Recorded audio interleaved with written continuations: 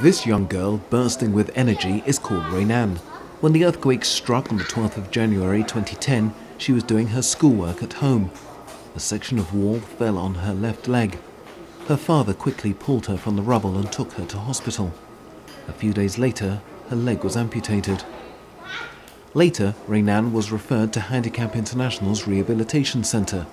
She was given a temporary prosthesis, then a permanent device in June. She soon accepted her prosthesis, which she calls her real foot. She even keeps it on in bed. It makes sense to her because everyone sleeps with their feet. I'm no different.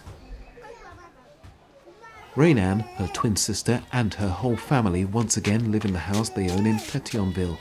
It was not badly damaged, and Reynane's father is trying to rebuild it little by little. Unfortunately, his business was destroyed in the earthquake. He scrapes together enough money to look after his family by doing odd jobs. His priority is to send his children to school. Non, jist lè ti moun nan okonnen ti moun nan son obligatwa pou voye l'ekol. Son doa paran pou voye l'ekol.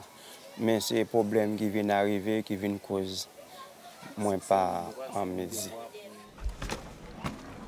At 6:30 a.m., Reynane and her sister leave for school and stay until 1. Not sending your children to school is frowned upon in Haiti, but schools are expensive. Only 15% of schools are public, and parents have to pay to send their children to private schools. On top of the fees, uniforms, books, and transport all need to be paid for.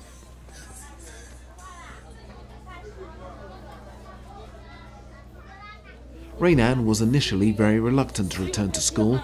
The head did everything possible to make her feel comfortable from the start. Un jour, elle est venue. Le lendemain, elle m'a dit qu'elle ne va plus retourner. Je lui ai demandé pourquoi. Elle m'a dit que les autres portent une jupe, moi j'ai un pantalon. J'ai dit, c'est vrai, j'ai demandé aux parents de mettre un pantalon pour toutes les autres.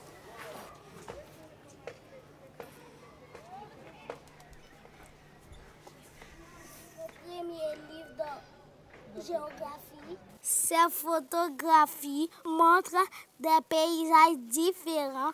D'une côté, des paysages naturels où la plante pousse seule. De l'autre, des paysages humanisés où l'on retrouve le travail des hommes. Fini. Her life could have been ruined forever, but thanks to the support of her family and Handicap International, Reynane's life is just like any other little girl's.